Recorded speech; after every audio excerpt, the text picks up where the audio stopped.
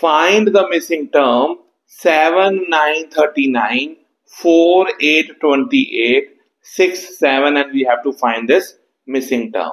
Now in these type of question we have to apply the logic column wise or row wise. Now let us start with the column wise.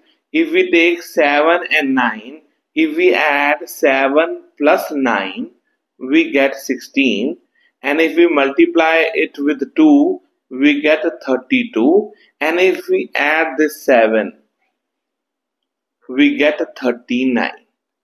Now let us try with another column. 4 plus 8 is 12. 12 into 2 is 24.